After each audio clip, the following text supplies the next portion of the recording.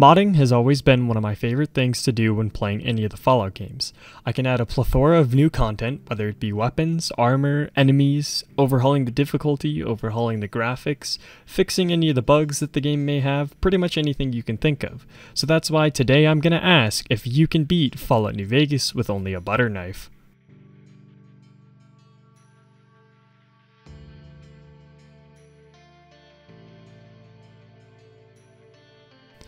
I of course named myself Mrs. Buttersworth, as that's the most fitting thing you can do for this run, and made the biggest monstrosity humanly possible with New Vegas' character editor.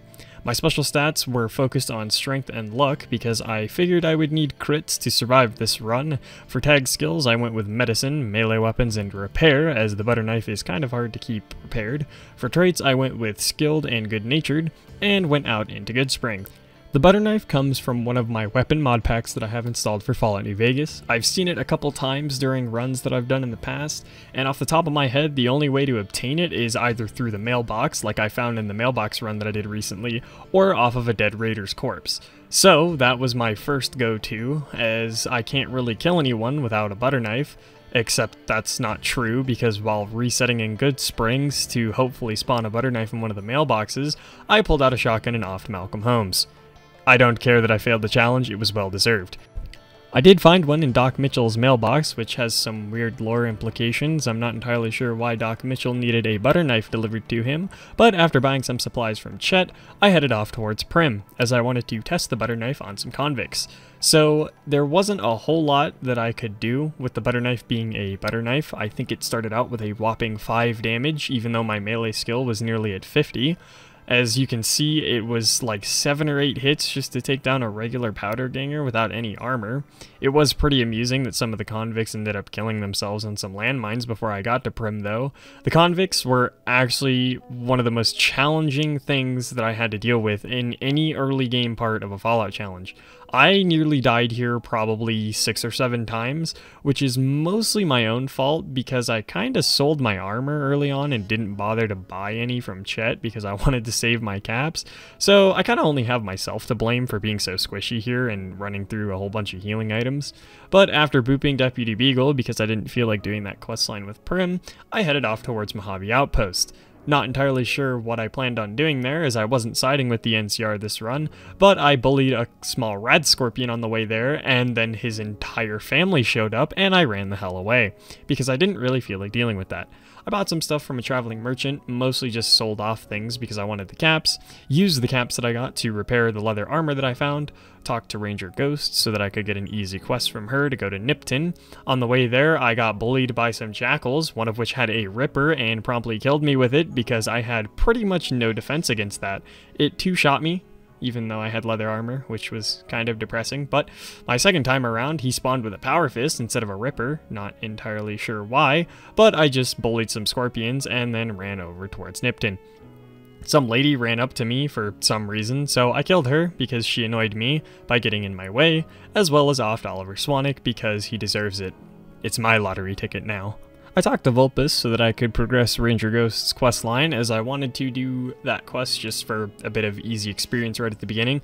It wasn't worth a whole lot, but pretty much anything helps at this point. I also got attacked by a group of regular people on my way down, which nearly killed me a couple times. Not entirely sure why, but one of them ended up having a butter knife on their corpse, so you know what? They're cool in my book because they carried the legendary butter knife. It was at this point that I kind of deviated from the way that I normally play these runs. I just kind of wandered around looting things and exploring a little bit instead of just beelining the main quest like I normally do. Other than getting into some fights with some powder gangers and, you know, insects and other random assorted enemies like I usually do, I didn't do a whole lot. I just kind of wandered around and went wherever the game felt like taking me. I did stop in and buy some more supplies from Doc Mitchell though before heading back out on my adventure I fast traveled back to Nipton and started heading east towards Camp Searchlight.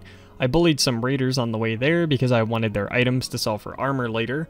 Not a whole lot else happened on the way out there. I just stopped by a couple smaller locations to gather up some loot to sell for armor once I made it to the strip. I did find another group of raiders that ambushed me during the night though, which was kind of spooky because they had really damn good weapons. I remember one of them having a 5.56 pistol, 44 Magnum revolvers, stuff like that. It was pretty spooky, and I did nearly die a couple times, but I did make it to Camp Searchlight, which I just kind of stopped by since I haven't been here in a long, long time. I did kill some random dude's dog, and then I, you know, turned around and killed them because I wanted their leather armor, as mine was pretty close to being broke at that point, and I just needed that little bit of extra durability on my way to the strip. Karma bit me in the ass, though, because I got jumped by a couple feral ghouls, and then spent way longer than I should have trying to kill some nameless guy outside Novac for his combat armor. I was swinging away at him for probably two minutes with the butter knife before he did eventually go down. I tried to assist a couple raiders that were dealing with some ghouls, but the ghouls weren't interested in me helping them, so I got nearly killed by them and then just killed a couple random people for their shit. I also stopped by and played peekaboo with a couple raiders before seeing that there were three of them, and I ran the hell away because I was pretty low on healing items at this point and I didn't feel like wasting any. I killed the Lonesome Drifter again because I wanted to see if his body would freak out. It did not. And then I went over to Boulder City because I haven't been here in a long time and started killing all the Great Khans inside. Somehow I managed to do this without any of the NCR troopers dying, which is different. I don't normally have that good of luck. I got bullied by some more raiders outside on my way towards the strip, which was pretty fun, and then found Victor's body dead by a train station. Not sure why he's here and dead, but you know, after that, I decided while I was in the area to just discover the El Dorado substation, as I would probably use it for later. I hadn't really decided what faction I wanted to side with quite yet, but I figured that, you know, it would be useful to have for the most part. I got annoyed by a fiend that had an incinerator, and then took out my annoyance on some NCR deserters that were nearby, and eventually made it over to the Gunrunners, where I bought some combat armor, and then just headed off towards Freeside. I did something abnormal while I was in Freeside, which was stopping by and talking to Julie for some healing items, and then went over towards Orris and just decided to show him that the butter knife is better than metal armor. After that was done, I went off towards the Kings and debated doing their questline, but decided it was funner to kill them all with a butter knife instead. The only one of note that took any time to go down was Rex, because, you know, it's Rex. He has a lot of defense, so other than that, I booped old Ben and then headed off towards the strip. My first stop was dealing with the Omertas, which were annoying as hell because all three of them that were up front had melee weapons, so I was pretty much getting blocked the entire time. I then headed off towards the tops and started slaughtering everyone there. Swank was an absolute lad because he had a butter knife on him, so he became my favorite chairman immediately. The rest of the chairmen went down without too much of an issue, including Benny, and then I was off on my next step, which was killing George and yeeting myself over the fence into the boomers camp. Nothing much of note happened with the boomers other than me harassing a senior citizen, which is, you know, pretty normal for me.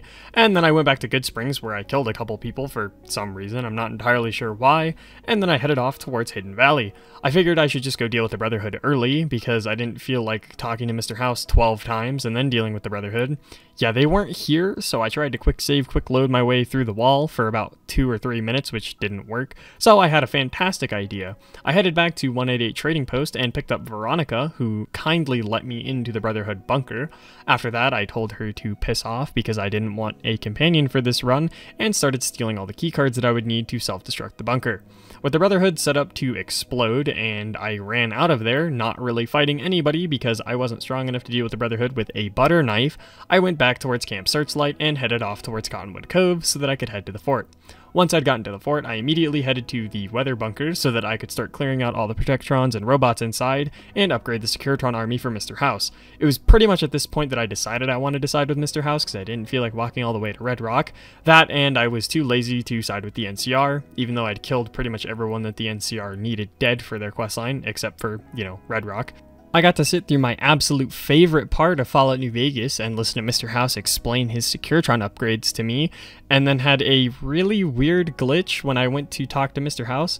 This is not sped up footage, by the way. You can see my cursor and the quest logo moving at normal speed. I'm not sure why the dialogue was freaking out with Mr. House, but he told me to go off to the El Dorado substation, which I didn't do. I actually went back to Hidden Valley and started killing off all the centaurs so that I could go up to Black Mountain and bully Tabitha by locking her in a corner with the Super Slam perk because I just wanted to do some extra shit while I was out.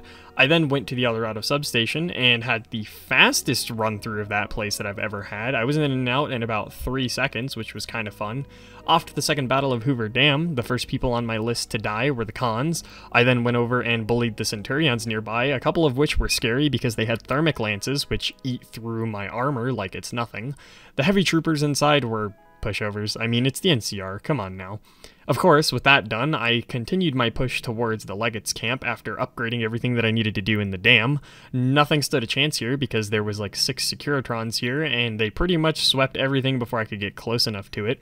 Of course, I got noob tubed by my own Securitron when I got to the Legates camp, and went off to fight the Legate.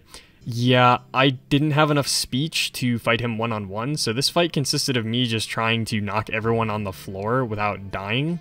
The Legate also ran away about halfway through the fight, as he normally does for me. I'm not sure why he does that, but he does for some reason. He also took the Martyrdom perk from Modern Warfare 2 and dropped a grenade as soon as I killed him, which was very annoying. I got put in the no-no corner until I killed all the Legionnaires. General Oliver arrived, who I pissed off by talking to him and talking down on him. I killed him, and then Mr. House let me have my fun after defeating the General of the NCR, and that was it. I beat Fallout New Vegas with only a butter knife. I also got the weird outro screen again for some reason. But as always, thank you guys so much for watching. I hope you enjoyed. Leave any suggestions in the comments below. And if you feel like helping support the channel just a little bit, I will be linking my Patreon, so feel free to stop by there if you're interested in that. Have a wonderful day, and thank you guys for stopping by.